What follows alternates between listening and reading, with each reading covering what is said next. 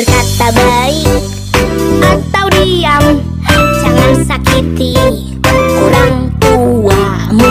Kata baik atau diam jangan sakiti.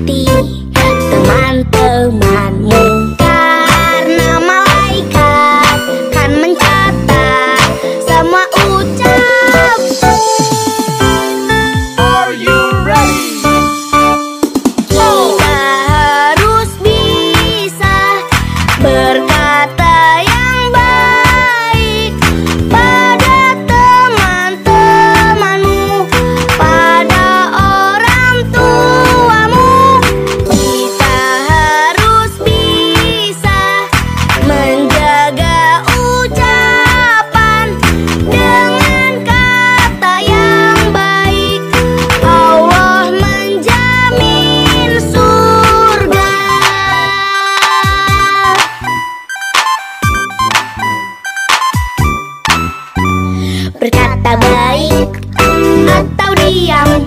Jangan sakiti.